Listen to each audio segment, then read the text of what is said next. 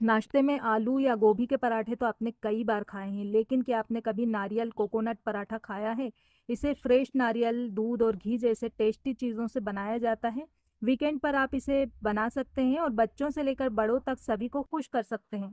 अगर आपके घर में मेहमान आ रहे हों और आप उनके लिए कुछ स्पेशल बनाना चाहते हैं तो नारियल पराठा बेस्ट रहेगा। इसमें फ्रेश नारियल आपको एक क्रीमी टेस्ट देगा, इसे दूध दही के साथ सर्व किया जा सकता है। तो चलिए जानते हैं नारियल के पराठे की सबसे आसान रेसिपी। एक फ्रेश नारियल को तोड़कर अच्छी तरह से धो लीजिए, फिर इसके ऊपर का एक कत्थई वाला भाग चाकू से छीलकर हटा लीजिए और इसकी बीच की सफ़ेद मलाई निकाल लीजिए फिर इसे कद्दूकस कर लीजिए। तो मैंने यहाँ पर नारियल को कद्दूकस करके ले लिया है। अब एक मिक्सी का जार ले लीजिए और इसमें ये कद्दूकस किया हुआ नारियल डाल दीजिए। यहाँ पर मैंने एक नारियल को तोड़कर किसा है और इसके हिसाब से इसमें हम चीनी डालेंगे एक कटोरी। अब इसमें हम डालेंगे चार पाँच हरी इलायची, इसे हम छील लेंगे और इसके दाने डाल देंगे। इससे बहुत अच्छी इसमें खुशबू आएगी, साथ में हम थोड़ा सा इसमें दूध ऐड करेंगे।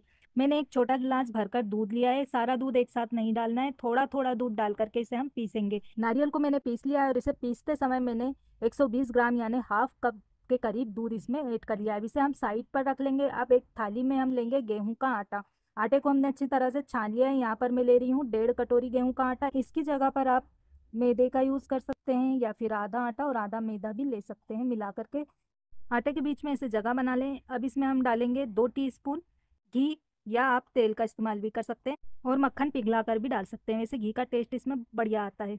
तो घी डालकर इसे अच्छी तरह से मिक्स कर लें दोनों हाथों से रब करते हुए। गेहूँ का आटा और घी अच्छी तरह से मिक्स करके डो तैयार करना है और साथ ही साथ इसमें हमें दो चुटकी बेकिंग पाउडर और एक चुटकी नमक डाल करके मिला देना है। इसके बाद नारियल, दूध और शक्कर का जो पेस्ट हमने पीस कर रखा है ना मिक्सी में, ये इसी में डाल दें। तो आटे के बीच थोड़ा सा गड्ढा बनाकर और ये पेस्ट इसमें डाल दीजिए। अब इसी नारियल के मिक्सचर में हमें आटे को इस तरह से गूँथ लेना है। हमें पानी इसमें ऐड नहीं करना है, ये इसी में अच्छी तरह से गुन जाएगा। इसका आटा हमें ना ही बहुत ज़्यादा नरम और ना ही बहुत ज़्यादा टाइट लगाना है।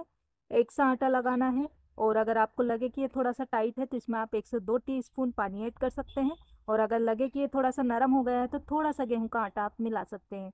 आटे को गूंदने के बाद आप 10 मिनट के लिए इसे कवर करके रख दीजिए, जिससे ये अच्छी तरह से सेट हो जाएगा। आटे को रखे हुए 10 मिनट हो गए हैं। देखिए, अच्छी तरह से सेट हो गया है और अच्छा थोड़ा टाइट भी हो गया आटा। ये देखिए तो इसे हम पटे पे रखेंगे अब इसको, आटे को हम तीन बराबर भाग में डिवाइड कर लेंगे। देखिए, इसमें से एक पीस लेकर इसकी गोल लोई बना लेंगे। लोई बना करके इसे हल्का सा इसे चपटा कर लें, जिससे हम इसे बेलेंगे तो फटेगी नहीं। अब पटे पे थोड़ा सा आटा इसे स्टिकल कर लेंगे।